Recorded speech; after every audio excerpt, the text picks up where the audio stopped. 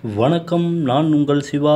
நீங்கள் பார்த்துக்கிட்டு இருப்பது foot steps of Adivasi channel இதுவரைக்கும் நீங்கள் இந்த சேனலை சப்ஸ்கிரைப் பண்ணலைன்னா கீழே இருக்கிற சப்ஸ்கிரைப் பட்டனை அழுத்தி சப்ஸ்கிரைப் பண்ணுங்கள் கூடவே பக்கத்தில் இருக்கிற பெல் பட்டனை அழுத்துங்க. இன்றைக்கி நாம் பார்க்க போகிற டாபிக் இந்தியாவில் மாவோயிஸ்டுகள் ஓர் பார்வை. நக்சலைட்டுகள் நக்சல்ஸ் அல்லது நக்சல்வாதிகள் அனைவரும் இந்தியாவில் உள்ள மாவோயிஸ்ட் பொது உடைமை குழுவை சார்ந்தவர்கள் என்பதுடன் நக்சலைட் மாவோயிஸ்ட் கிளர்ச்சியின் தலைவர்கள் ஆவர். இந்தியாவில் மேற்கு வங்க மாநிலத்தில் உள்ள நக்சல்பாரி என்ற கிராமத்தில் அந்த நக்சல்பாரி இயக்கம் தொடங்கப்பட்டதால் மேற்கூறிய பெயர்களை பெற்றது. அவ்வியக்கத்தை சார்ந்தவர்கள் பொது உடைமை கொள்கையை தீவிரமாக பின்பற்றுபவர்கள் என்பதுடன் மாவோயிஸ்ட் கட்சியின் நோக்கம் மற்றும் கருத்துக்களை ஆதரிப்பவர்களாவர்.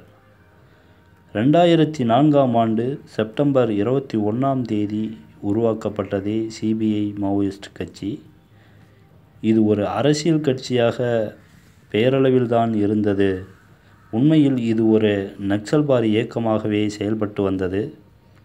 சிபிஐ மக்கள் போர் இந்திய மாவோயிஸ்ட் கம்யூனிஸ்ட் மையம் ஆகியவற்றை இணைத்து உருவாக்கப்பட்ட கட்சி தான் சிபிஐ மாவோயிஸ்ட். இந்த இணைப்பு ரெண்டாயிரத்தி நான்காம் ஆண்டு அக்டோபர் பதினான்காம் தேதி அறிவிக்கப்பட்டது. மக்கள் போர் அமைப்பின் தலைவரான முப்பால லட்சுமண ராவ் என்ற கணபதியே இந்த மாவோயிஸ்ட் கட்சியின் பொதுச் செயலாளராக அறிவிக்கப்பட்டார். மேற்கு வங்க மாநிலத்தில் ஆயிரத்தி தொள்ளாயிரத்தி அறுபத்தி ஏழாம் ஆண்டு தோன்றி பெரும் வெற்றியை பெற்ற நக்சல்பாரி இயக்கத்தின் கருத்துக்களை ஒத்ததாக மாவோயிஸ்ட் கட்சி விளங்கியது. மேலும் இந்த கட்சியும் நக்சல்பாரி இயக்கமாகவே மாறி செயல்படத் தொடங்கியது. மாவோயிஸ்ட் கட்சியின் முதல் நோக்கமே மக்களை திரட்டி அரசுகளுக்கு எதிராக போர் புரிவது என்பதுதான். சீனாவில் மாசேத்துங் அதாவது மாவோ மக்களை திரட்டி கொரில்லா போரில் ஈடுபட்டதால் அந்த அடிப்படையை மாவோயிஸ்டுகள் பின்பற்றி வருகின்றனர். இந்தியாவில் பீகார் ஆந்திரா சத்தீஸ்கர் மகாராஷ்டிரா மேற்கு வங்கம் ஒரிசா ஜார்க்கண்ட் ஆகிய மாநிலங்களில் மாவோயிஸ்டுகளுக்கு நல்ல பலம் உள்ளது. இவர்களுக்கு உள்ளூர் பழங்குடியின மக்கள் உறுதுணையாக இருக்கின்றனர். சிபிஐ மாவோயிஸ்ட் உருவாக்கப்படுவதற்கு முன்பு செயல்பட்டு வந்த ஆயுத பிரிவுகளான மக்கள் விடுதலை கொரில்லா இராணுவம் மக்கள் கொரில்லா படை என்ற பெயர்களில் ஆயுதக்குழுவை இந்த கட்சி உருவாக்கியது. இந்த ஆயுதக்குழு தான் தற்போது பல்வேறு தாக்குதல்களை மேற்கொண்ட மாநிலங்களில் நடத்தி வருகிறது. மாவோயிஸ்ட் நக்சலைட் அமைப்பில் கிட்டத்தட்ட ஒன்பதாயிரம் முதல் பத்தாயிரம் ஆயுதப்படையினர் வரை இருப்பதாக கணக்கிடப்பட்டுள்ளது.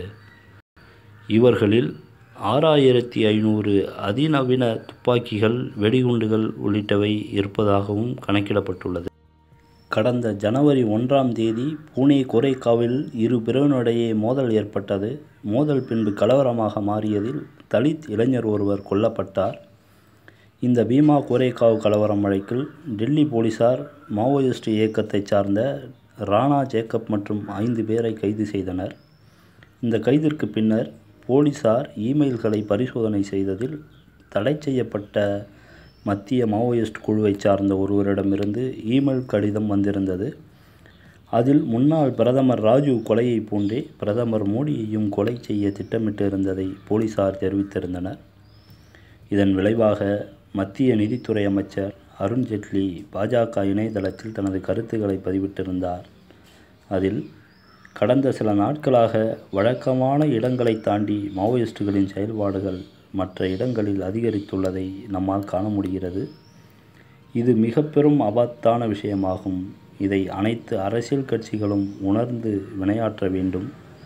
அரசை மட்டுமல்ல அரசியலமைப்பு முறையையும் தூக்கி எறிந்து வன்முறையில் ஈடுபடுவதை மாவோயிஸ்ட் நம்புகிறது. அவர்களது கொள்கையில் எந்த அடிப்படை உரிமைகளும் இல்லை சட்ட விதிகளும் இல்லை பாராளுமன்றமும் இல்லை சுதந்திர பேச்சும் இல்லை. ஆனால் அவர்களது அரசியல் அடித்தளத்தை விரிவுபடுத்த அவர்களது அனுதாபிகள் ஜனநாயக முரண்பாடுகளை முழுமையாக பயன்படுத்துகின்றனர். இந்தியாவில் நான்கு வகையான மாவோயிஸ்டுகள் உள்ளனர். முதல் நிலையினர் சித்தாந்தத்தை போதிப்பவர்கள் இரண்டாம் நிலையினர் ஆயுதம் ஏந்துபவர்கள் மூன்றாம் நிலையினர் அநீதியால் பாதிக்கப்பட்ட அப்பாவி பழங்குடி மக்கள். மாவோயிஸ்டுகளை நம்பினால்தான் தீர்வு கிடைக்கும் என தவறாக நம்ப வைக்கப்பட்டவர்கள். இவர்களை தான் மிகவும் சீரியஸாக கவனிக்க வேண்டும். நான்காம் நிலையினர் அரை குறை மாவோயிஸ்டுகள். துரதிருஷ்டவசமாக சில அரசியல் கட்சிகள் மாவோயிஸ்டுகளை தங்களின் கருவிகளாக பயன்படுத்தி கொள்கின்றனர். பயங்கரவாதம் மற்றும் தீவிரவாதத்தில் வரலாறு நமக்கு ஒரு அடிப்படை உண்மையை கற்பிக்கிறது. புலி மீது சவாரி செய்ய வேண்டாம். நீங்கள் அதனால் முதலில் பாதிக்கப்படலாம் என்று தனது அறிக்கையில் அருண்ஜெட் இதன் தொடர்ச்சியாக தற்போது ஆந்திர மாநிலம் விசாகப்பட்டினம் மாவட்டம் அரக்கு சட்டப்பேரவையைச் சேர்ந்த தெலுங்கு தேச கட்சி எம்எல்ஏ கிடாரி சர்வேஸ்வர ராவ் இவர் கடந்த ஞாயிற்றுக்கிழமை தன்னுடைய உதவியாளர் மற்றும் முன்னாள் எம்எல்ஏ எஸ். சோமா ஆகியோருடன் தொகுதிக்கு சென்றுவிட்டு திரும்பினார். அப்போது விசாகப்பட்டினத்தில் இருந்து நூற்றி இருபத்தஞ்சி கிலோமீட்டர் தொலைவில் உள்ள கடற்கரை கிராம கிராமமான துதாங்கி கிராமம் அருகே காரில் வந்தபோது சுட்டுக் கொல்லப்பட்டார். சர்வேஸ்வர ராவ் ஒய்எஸ்ஆர் கட்சியிலிருந்து ஒரு வாரம் முன்பு விலகி தெலுங்கு தேச கட்சியில் இணைந்தார். ஆந்திர அமைச்சரவையில் அமைச்சர் பதவியை எதிர்பார்த்து சர்வேஸ்வர ராவ் காத்திருந்தார் என்பது குறிப்பிடத்தக்கது. ஒருவேளை அருண்ஜேட்லி சொல்லியது போல் சர்வேஸ்வர ராவ் புலி மீது சவாரி செய்திருப்பாரோ என எண்ண தோணுகிறது. பொறுத்திருந்து பார்ப்போம்.